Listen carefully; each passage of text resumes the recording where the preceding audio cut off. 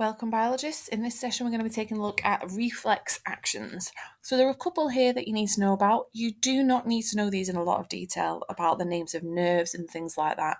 The main thing you need to know here is just basically what they are and the value of these reactions. So the first one we'll take a look at is the reflex arc. So you should know this from GCSE. We have a receptor that detects the stimuli. This sends an impulse down the sensory neuron. Sensory neuron connects to a relay neuron. The relay neurons are found within the central nervous system, which is the spinal cord and the base of the brain. This then connects to a motor neuron, which is attached to a effector, which could be a muscle or a gland, which does something to cause a change or response. So in this particular example, I have got heat that's a stimulus, it's detected by thermoreceptors. got the sensory neuron passes the impulse to the spinal cord in the central nervous system. We have the relay neuron, in the inside that central nervous system in the spinal cord, and then the motor neuron in this case passes it to the effector, which is a muscle contracting to move your arm away. The knee jerk reflex, this is where the knee is tapped just underneath the kneecap, and what it causes is um, it stretches something called the patella tendon, and this causes your um, quadriceps muscles contract, swinging your leg outwards. Um, now, if the doctor was to do this and you had no response, it can indicate some damage within the nervous system.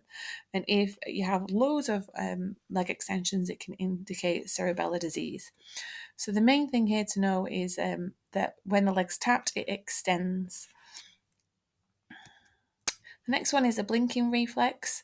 Um, so this is um, where the reflex will occur if the cornea is stimulated. So this could be through touch, through a piece of dust or an object or a loud noise or bright light.